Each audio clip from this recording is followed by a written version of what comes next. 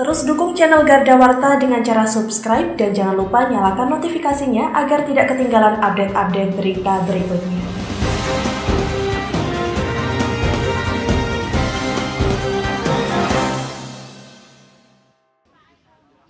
Bertempat di Joglo, Taman Hijau Demangan Kecamatan Taman Kota Madiun, pengurus Pos Keskel dan Pokjakel Kelurahan Demangan mengadakan kegiatan sosial berupa donor darah yang bekerja sama dengan UMKM Demangan, tiga pilar pemerintahan Kelurahan Demangan dan PMI Kota Madiun.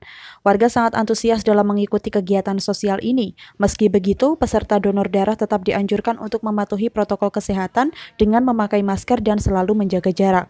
Untuk menentukan bisa mendonorkan darahnya atau tidak, peserta sebelumnya harus melalui proses screening terlebih dahulu agar dipastikan untuk peserta donor darah benar-benar sehat. Secara rutin, kegiatan sosial donor darah diselenggarakan setiap 2-3 bulan sekali. Dalam setiap kegiatan, dari peserta mampu menyumbangkan 12 hingga 25 kantong darah dengan berbagai golongan darah. Di sini kami selaku pengurus Pok Jakel dan Poskeskel Kelurahan Demangan bekerja sama dengan UMKM Kelurahan Demangan dan PMI mengadakan giat bakti yaitu donor darah yang rutin kita adakan antara 2 sampai 3 bulan sekali. Kegiatan donor darah ini bertujuan untuk menumbuh kembangkan supaya masyarakat lebih lebih uh, senang lagi untuk berbagi hal-hal yang sebenarnya kita tidak pahami misalnya seperti darah darah setitik darah kita itu amat sangat berguna bagi mereka khususnya penderita talasemia dan penderita uh, amnesia serta lain-lain.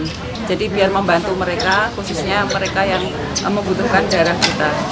Kebetulan di Kelurahan Demangan antara tiga pilar jadi dari kelurahan, Babinsa, Kaptidmas dan juga uh, Pok Jagal, Poskoskel beserta UMKM dan PMI amat sangat bersinergi. Jadi kegiatan kita alhamdulillah sudah lancar selama dua bulan sekali atau tiga bulan sekali. Jadi kita sudah beberapa kali mengadakan ini uh, sasaran kita yaitu warga Demangan tapi ada di antara beberapa yang bukan warga Demangan yang kebetulan lewat atau kebetulan saudaranya dari warga kita melakukan trans apa donor darah di sini jadi tetap kita terima uh, tidak ada salahnya Diharapkan kegiatan sosial seperti ini dapat berjalan terus dan lancar, agar dari kegiatan ini mampu membantu masyarakat yang membutuhkan.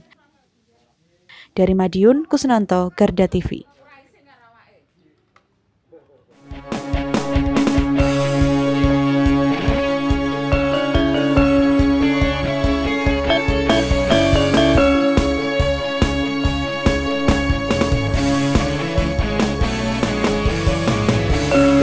Revolution Media.